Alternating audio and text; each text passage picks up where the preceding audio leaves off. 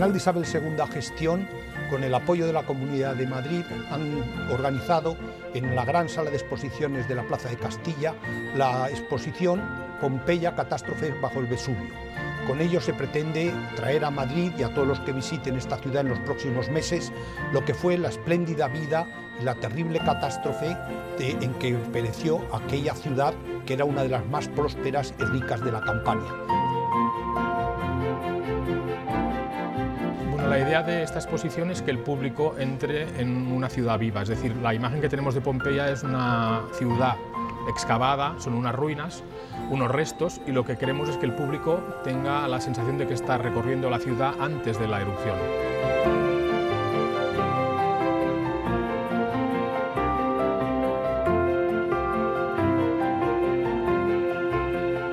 La figura de Carlos III se pretende revalorizar en esta exposición porque aunque es conocido entre los especialistas, a lo mejor no se sabe entre el gran público que es una de las máximas figuras de la historia de la arqueología.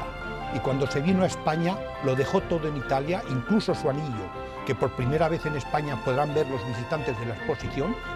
el anillo romano que llevaba de Pompeya por cariño hacia estos hallazgos y a España solo se trajo algunas reproducciones que el público también podrá ver junto con los originales que vienen de Italia.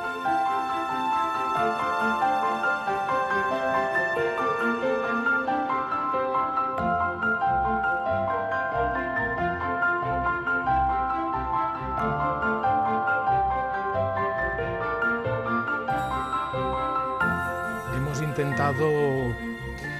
economizar en recursos, es decir, el lenguaje teatral permite con, el concepto explicar muchas cosas y ese concepto se puede traducir a unos materiales ligeros. No vamos a competir nunca con los objetos que son los que realmente tienen el valor. Entonces las estructuras que hemos utilizado son estructuras que lo que hacen es apoyar un discurso, que intentan y pretenden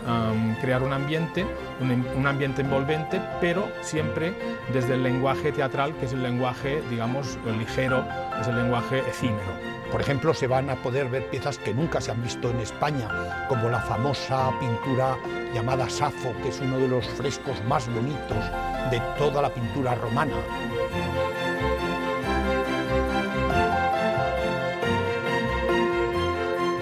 Junto a esta han venido otras pinturas pompeyanas de primer orden, tanto del Museo de Nápoles como de las excavaciones de Pompeya y de las excavaciones de Estavia.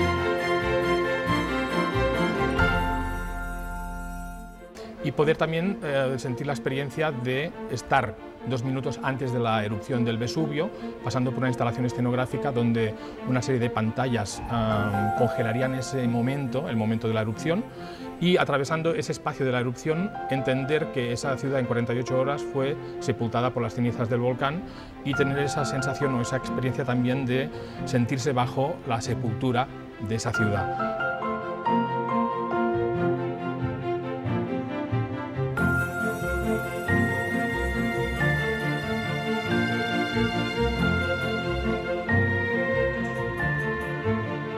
Luego también al público estoy seguro que le emocionarán junto a algunas esculturas de magnífica calidad los restos mucho más modestos, pero de, los, de las personas que se vieron atrapadas por esta catástrofe. Es una cosa que impresiona junto con la belleza de las piezas y de idea de este mensaje que pretende transmitir la exposición de cómo la naturaleza todavía está por encima de la cultura humana.